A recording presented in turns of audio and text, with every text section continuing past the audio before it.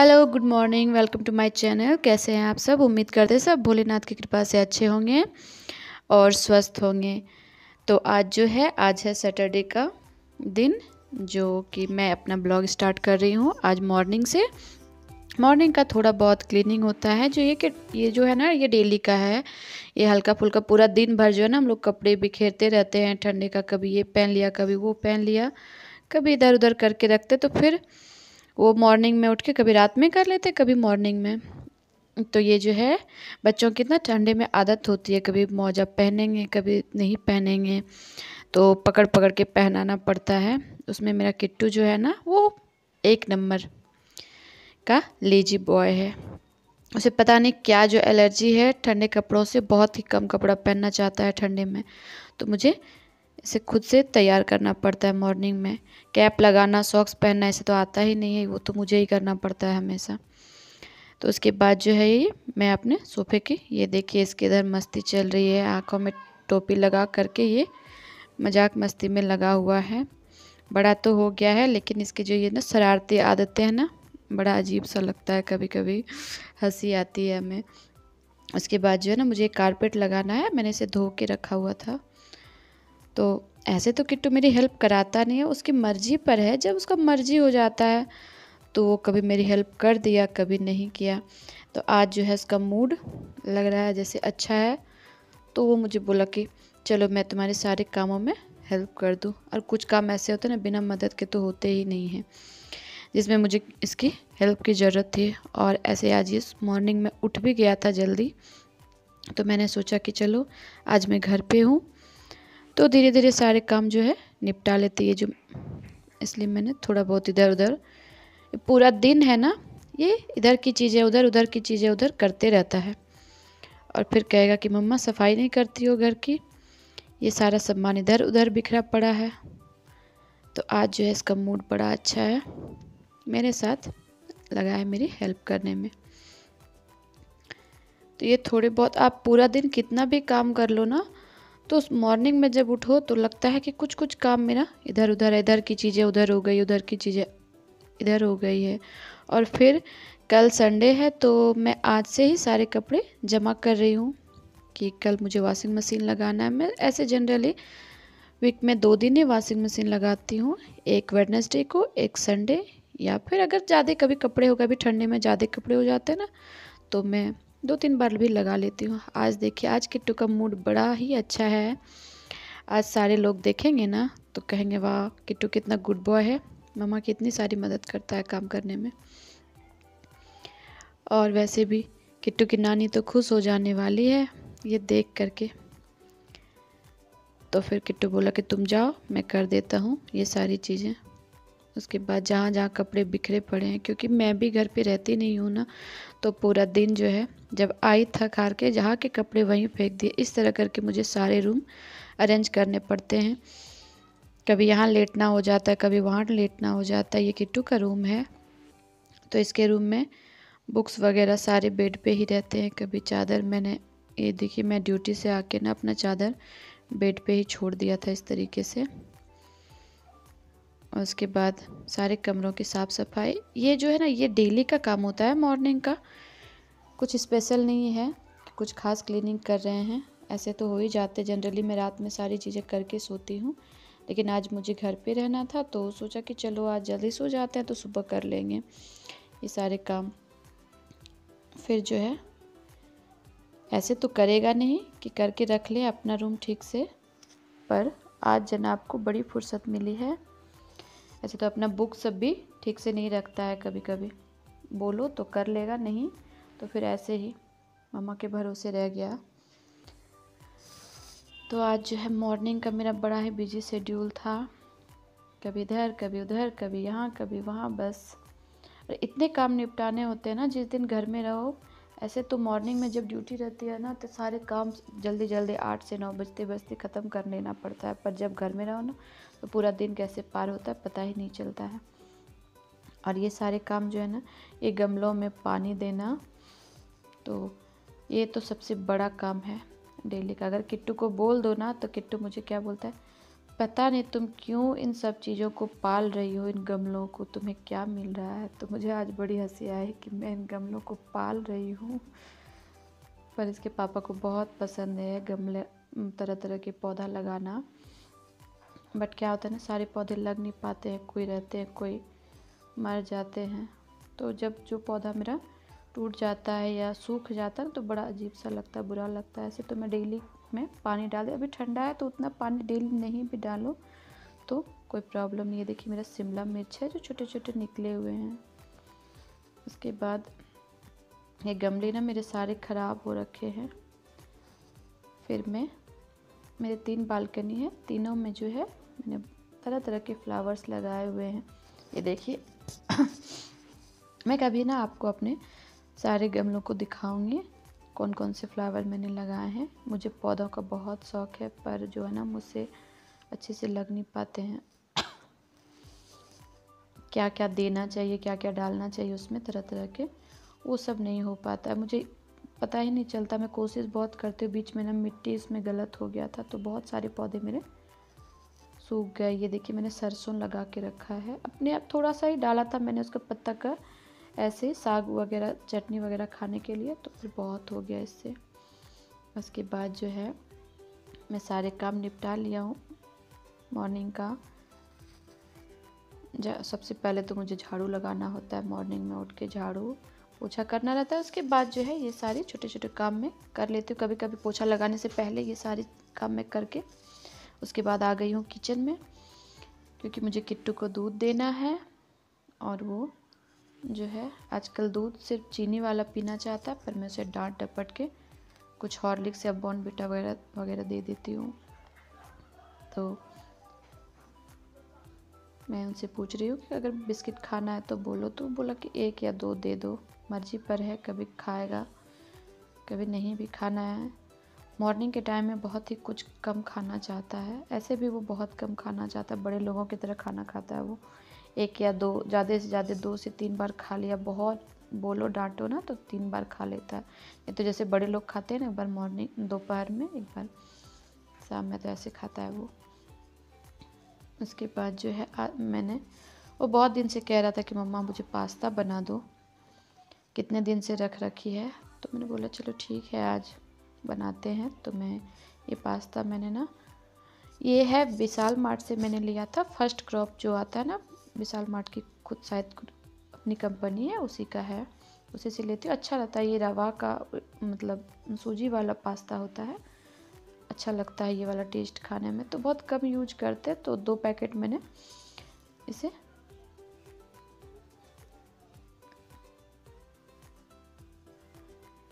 तरीके से लगा के रखा है।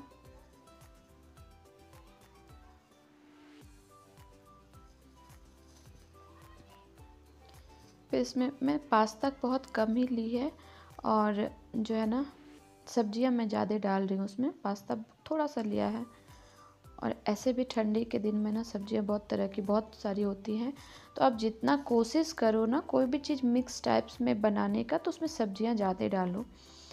जैसे मैगी होता है, पास्ता होता है, ये सब बच्चे खाना पसंद करते हैं।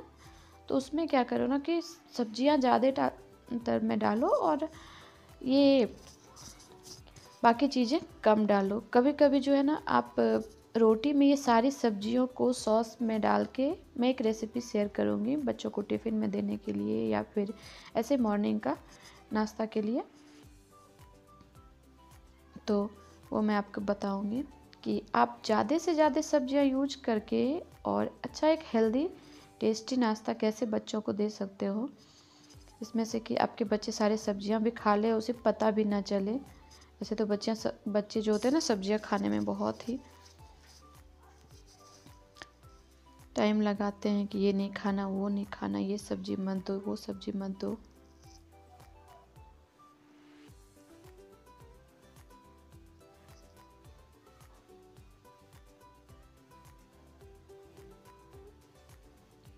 बच्चों को ना सब्ज़ियाँ खिलाना बहुत ही मतलब क्या बोलते हैं, मुश्किल सा काम होता है कि आप बच्चों को सब्ज़ी खिला लो ना अपने तरीके से तो ये तो बड़ा ही मुश्किल वाला बात हो जाता है। और मेरे पास ना चॉपर नहीं है। एक था जो कि प्लास्टिक का था तो मैं जब घर में शिफ्टिंग की ना तो फिर वो वाला वहीं पे छोड़ दी। मुझे लगा कि अब ये पुराना हो गया है और उतना यूज़ करने में बन नहीं रहा था। उसके बाद से मैं कब से सोच रही हूँ कि लकड़ी वाली जो होती है ना वुड की चॉपर ले लूँ, पर मैं अभी तक सोच ही नहीं पा रही हूँ कि कौन सा लूँ, कौन सा किसी जो पसंद आता है उसका रिव्यू अच्छा नहीं आता है। पर मैं कोशिश कर रही हूँ कि जल्दी ले लूँ, ऐसे ना नाइफ़ ख़राब हो जाते हैं तो इसलिए मैं अच्छा नाइफ़ भी नहीं ले रही, जो भी है ना घर पे, उसी को यूज़ कर रही हूँ। इस तरह मैंने सारे सब्ज़ियाँ कट करके, और उसके बाद जो है मुझे ना जल्दी जल्दी क्लीनिंग करना अच्छा लगता है कि कहीं भी कुछ भी हो ना, उसको फटाफट क्लीन कर लो, नहीं तो फिर दूसरे काम में ना मन ही नहीं लगता है मुझे। लगता है कि अरे यार, यहाँ गंदा लग रहा है, ऐसे लग रहा है, वैसे लग रहा है। तो जल्दी जल्दी उसको क्लीन करूँगी, उसके बाद ही आगे का काम होगा मेरा। मैंने पास्ता जो है ना निकाल के रख लिया है, फिर मैं फटाफट इसे तैयार कर लूँगी, नाश्ता बनाने के बाद ही। मेरा दूसरा सारा काम होगा। और एक और आदत है मेरी। मैं हर बात में ना हाथ धोती हूँ। पता नहीं ये कौन सी बीमारी है। क्योंकि बिना हाथ वॉश किए ना मैं कोई भी चीज़ें नहीं छूती हूँ जल्दी। जैसे कि नमक, हल्दी, मसाले वगैरह, ये सब ये मम्मी सिखाती है कि आप जब खाना बना रहे हो ना, जैसे कि अनियन, गार्लिक वाले या कोई भी खाना बनाओ तो देखिए, ये देखिए, मैंने फिर से हाथ वॉश करके हैंड को, उसके बाद ही मैंने कुछ छुआ है। तो ये मम्मी ने सिखाया है हमेशा कि कोई भी चीज़ है ना छू के यूज़ करना चाहिए, क्योंकि हम लोग जो है ना कुछ फास्टिंग वगैरह करते हैं, जिसमें अनियन गार्लिक का नहीं खाना होता है हम लोगों को। तो उस टाइम क्या होता है ना, इन सब हाथों से आप सारी चीज़ें छू दोगे ना तो फिर नहीं खाने में बनता है। ये मैंने कुछ पास्ता मसाला ला के रखा था काफ़ी टाइम से। तो आज मैं वो दूँगी। और ये एक मैगी मसाला है। किटू को ना मैगी मसाला का टेस्ट बहुत पसंद है। तो इसलिए वो बोलता कि पास्ता में भी ना मैगी मसाला डाल दूँ उसे और मेरी बहन को और मेरा जो छोटा सा है, लड्डू, किट्टू का भाई छोटी बहन का बाबू तो वो जो है ना, उसे भी मैगी, अभी से वो कहेगा, मम्मा नमी नमी खाना है, मैगी बना दो। उसे मैं आप लोगों को जल्दी मिलाऊँगी। बहुत क्यूट बेबी है, बहुत क्यूट बेबी है। उसे जब आप लोग मिलोगे ना तो मन करेगा कि रोज़ उसे देखते रहे। हम लोग बहुत मिस करते हैं उसे। दिन में दो बार जब तक वीडियो कॉल ना कर लूँ ना, तब तक चैन नहीं मिलता है। इधर आज चूँकि सैटरडे है ना तो मुझे आज तहरी बनानी है, जो कि यहाँ की स्पेशल तहरी होती है। वो वाली जो होती है ना, पुलाव टाइप्स तहरी, वो नहीं, ये दूसरे टाइप की इसका रेसिपी मैं जल्दी शेयर करूँगी आप लोगों के साथ। मैं इसी वीडियो में शेयर करने वाले थे बट ये वीडियो जो है ना थोड़ा लंबा हो गया तो इसलिए मैंने उसे स्किप कर दिया और वो वीडियो में स्पेशल तहरी वाली अलग से डालूँगी अपना। तो प्लीज़ उसे ज़रूर देखिएगा। आपने ऐसा डिफरेंट स्टाइल में तेरी ना कभी नहीं खाया होगा। उस ऐसे जनरली वो खिचड़ी टाइप्स होता है बट वो बहुत स्पेशल होता है। तो वो वाली मैं ना आप लोगों के साथ शेयर करूँगी। इस वीडियो में तो नहीं हो पाएगा क्योंकि ये वीडियो थोड़ा लंबा हो गया है। आज तो मेरा फ़र्स्ट डे था किचन का रूटीन में। और यहाँ पे जो है ना, आप देख रहे हो ऊपर में, ये मेरा चिमनी लगाने का जगह है, जो कि मैं अभी तक नहीं लगा पाई हूँ। बहुत सारे प्रॉब्लम्स हो जाते हैं ना, बहुत सारे, बहुत तरह की चीज़ें लेनी होती है घर में छोटी बड़ी तो घर के सारे काम, खर्च, सारी चीज़ों को मैनेज करना ना एक साथ नहीं हो पाता है। तो धीरे धीरे कोशिश कर रहे हैं सारी चीज़ों को मेंटेन करने की। आगे आगे देखिए क्या क्या क्या कब ले पाते हैं। इसके बाद जो है ना, ये देखिए मेरा पास्ता जो है लगभग रेडी हो चुका है। ये मैंने दो तरह के पास्ते, दो पैकेट लिए थे, दोनों को आपस में मिक्स करके रख देती हूँ ताकि दो डिज़ाइन का पास्ता निकले इसमें। ये पास्ता बहुत टेस्टी लगता है खाने में, पर हम लोग बहुत ही कम यूज़ करते हैं पास्ता। उसके बाद जो है ये सॉस थोड़ा सा, क्योंकि किट्टू को सॉस बहुत ज़्यादा पसंद है सारी चीज़ों में।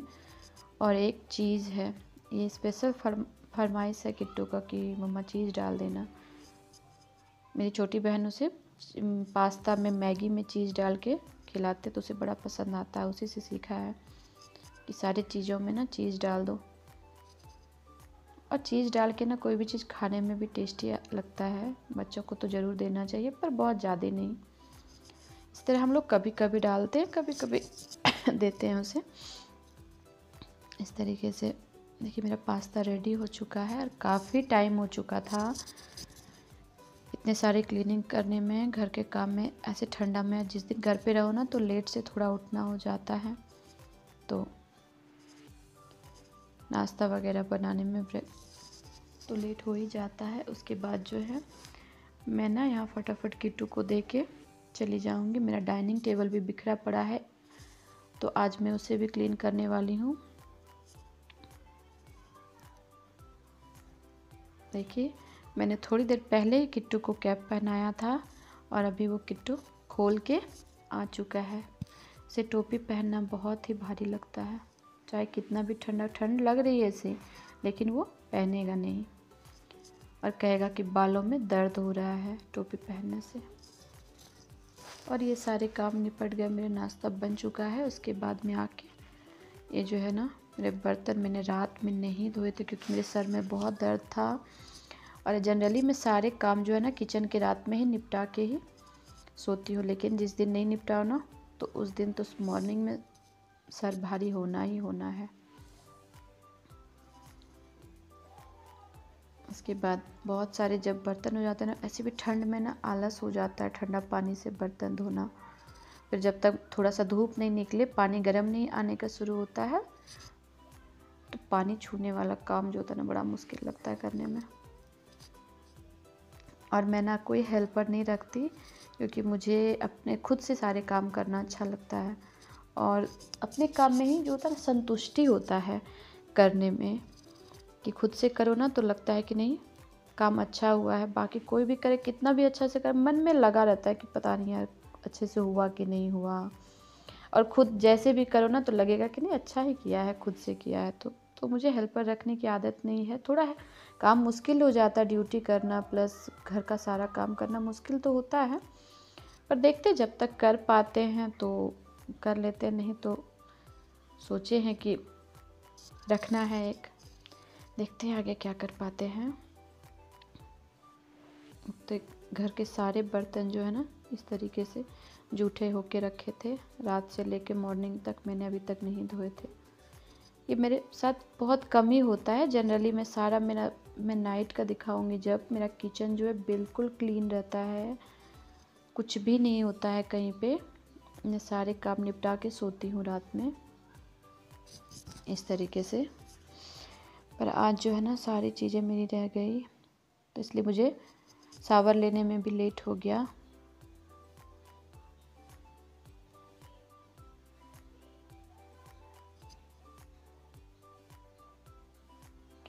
मुझे बर्तन धो के ना, बर्तन रखना बड़ा मुश्किल है, क्योंकि इधर जो है मेरा गैस स्टोव है और सामने से पानी गिर जाता है तो थोड़ा मुश्किल होता है। मैं एक बर्तन स्टैंड लेने वाली हूँ, प्लास्टिक का आता छोटा सा, जिसमें से ना बर्तन ऐसे रख दो तो सारा पानी जो है ना नीचे ही ड्रेन हो जाता है, वो वाली मैं कब से सोच रही हूँ लेने के लिए। ऐसे मुझे बहुत प्रॉब्लम होती है, बर्तन को ऐसे रखो, फिर पानी गिरने का टेंशन, ये देखिए, इस तरीके से मुझे करना पड़ता है। बहुत छोटा सा किचन है मेरा और उसके बाद सारा पानी निकाल के फिर से वापस से रखना और अलग अलग करके। तो बड़ा हेडेक होता है मुझे बर्तन धोने में। जल्दी से जल्दी मैं एक स्टैंड ले लूँगी। तो ये देखिए, बड़ा परेशानी होता है मुझे सारे बर्तन धोने में। जब बर्तन ज़्यादा हो जाए ना तो और मुश्किल है। इस तरीके से ढो के रख रखने मेरे किचन में ना, मेरे अलावे बहुत कम ही लोग हैं जो काम कर पाते हैं। और जब भी बर्तन धो ना उसके बाद हैंड वॉश ना करो तो फिर मन में संतुष्टि ही नहीं होती है कि कुछ किया है मैंने।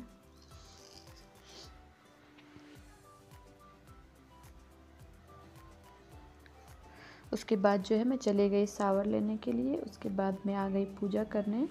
ये मेरा छोटा सा पूजा रूम है, जो मैंने कि बालकनी में बनवाया है। क्योंकि वो ही साइड था जो मेरा, जो होता है ना पूजा रूम का बनाने का जगह।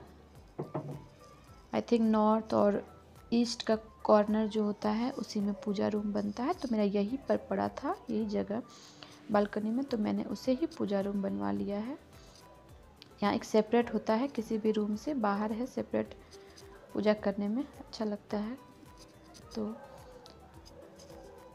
मैंने यही पूजा और हम लोग के साथ क्या है ना चाहे कितना भी लेट हो जाए, बिना पूजा किए ना हम लोग खाना नहीं खा सकते हैं या नहीं खाते। मन में खुद का ही अच्छा नहीं लगता, ऐसा नहीं कोई दबाव है, कोई कहता है कि ऐसा करना ही है। पर खुद ही अच्छा नहीं लगता। कोशिश तो करते मॉर्निंग में जल्दी स्नान कर लें, जल्दी पूजा वूजा करके फिर सारा काम करें बट हो नहीं पाता। ठंडी में, गर्मी के दिनों में हो, कर लेते हैं बट ठंडा में नहीं हो पाता है। थोड़ा ठंड लगता है, ज़्यादा आलस में। लेकिन हाँ ये जो है सबसे इम्पोर्टेंट काम है हम लोगों का। उसके बिना तो पूजा पाठ होना मुस, खाना सॉरी खाना खाना मुश्किल है।